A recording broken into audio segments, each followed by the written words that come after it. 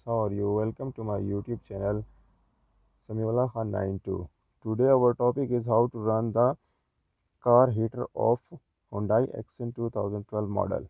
So let's start. Let's see how it will work. First of all we have to start our car. So let's start our car first.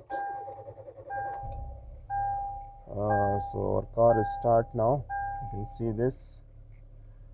Uh, the rpm going to 1000 now so uh, we just start our car now.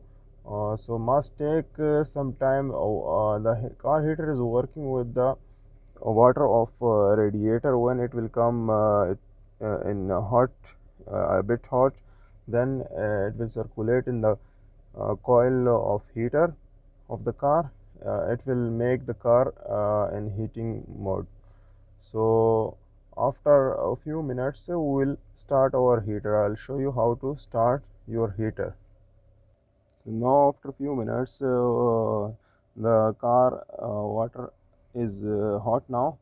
So these are the three uh, knobs from where we can control the car heater uh, temperature and uh, fan speed. This is for the control of temperature of the car how much temperature you want inside your car so it's uh, on uh, cooling mode. Now you can see this is on blue. Uh, blue means it's on the cool mode. So we need to put this on the red side. Red side is the heater mode. So you can move it clockwise for the heating side. It's come on the heater side. Other thing we have to run only the fan. No need to push any other button.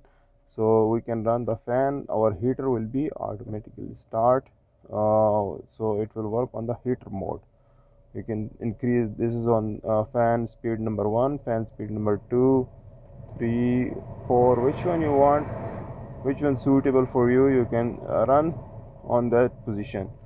And this I, I teach you before what is the function of these uh, uh, options in the car. Uh, in all car these all options are same. So you can use these options also.